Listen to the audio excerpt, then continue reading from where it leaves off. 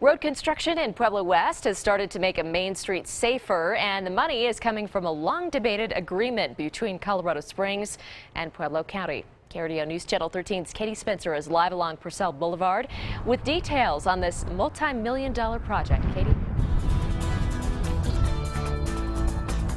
Yeah, Heather, this is just one of the many projects being worked on in Pueblo County using that SDS money to make the road safer. Construction is now underway on a main boulevard in Pueblo West, and the project will come with several safety upgrades.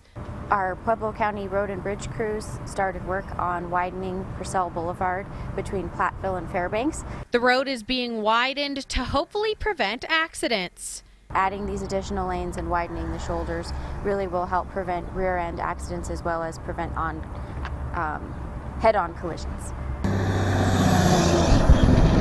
And create a safer route for trucks to work on the Southern Delivery System pipeline.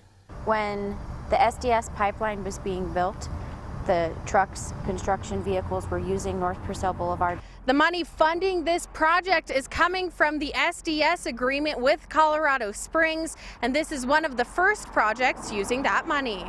This project's worth between four and five million. It's Pueblo County Commissioner Buffie McFadden says she is glad to see the work beginning on the projects that they worked so hard to negotiate. So it's important that we, we negotiated the funds with Colorado Springs and that we used the funds for what we said we needed them. And she's excited to know these improvements will continue for the county for years to come. We'll be watching over the next few years Pueblo County to ensure that the projects are working. This is the second road funded by SDS money in Pueblo County. There are 71 projects overall. 59 of them are benefiting Pueblo County. Live in Pueblo West, Katie Spencer, KRDO News Channel 13.